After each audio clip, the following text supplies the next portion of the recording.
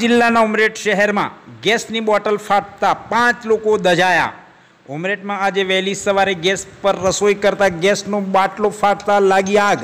ભયંકર આગ લાગી હતી અને પાંચ જણા આગ ઓલવવામાં મદદ કરનાર એક કર્મી સહિત છ વ્યક્તિઓ દાજી જતા ઉમરેઠ રેફરલ હોસ્પિટલમાં સારવાર અર્થે ખસેડવામાં આવ્યા છે.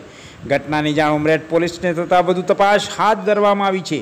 વધુ માહિતી અનુસાર ઉમરેઠ નગરની ઓડ બજાર વિસ્તારમાં આવેલા હવલદારના ખાંચામાં રહેતા નૂર મોહમ્મદ બેલીમ રહે છે. આજે સવારના આઠ વાગ્યાના સુમારે તેમના ઘેર એક ગેસ રસોઈ બનાવવાની કામગીરી ચાલતી દરમિયાન એકાએક રાંધણ ગેસનો બાટલો ફાટ્યો હતો.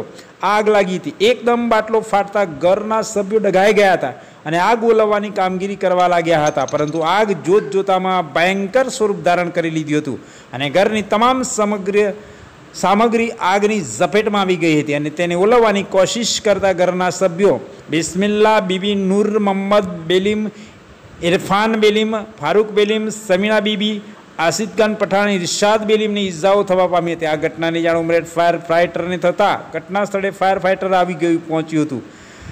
પાણીનો મારો ચલાવવા આગ પર કાબુ મેળવી લીધો હતો, પરંતુ ઘરની સામગ્રી બળી ગઈ હતી. ફાયર કર્મી જબ્બરસિંહ ઝાલા ઘરમાં અંદર સુધી જઈ આગ ઓલવવાનો પ્રયત્ન કરતા આગની ઝપેટમાં આવી ગયા હતા અને બરડા તથા શરીરના ભાગે દાઝી ગયા હતા. પરંતુ આગ પર કાબુ મેળવી લેવામાં આવી છે. તુરંત જ સારવાર અર્થે હોસ્પિટલ ખાતે ખસેડવામાં આવ્યા છે. કર્મીને, જે ફાયર કર્મી છે, તેમને પણ આગના કારણે દાઝી ગયા છે. આસપાસના તમામ વિસ્તારમાં ધુમાડાના ગોટે ગોટા જોવા મળી રહ્યા છે. વાતાવરણ ગોટાવાળું જોવા મળી રહ્યું છે ધુમાડાથી પ્રદૂષિત જોવા મળી રહ્યું આસપાસમાંથી અનેક લોકો એકઠા થયા હતા. ફાયર વિભાગ દ્વારા ભારે જહેમત બાદ આગ પર કાબૂ મેળવાય, લેવાયો હતો, પરંતુ ઘરની સામગ્રી બળીને ખાખ થઈ ગઈ.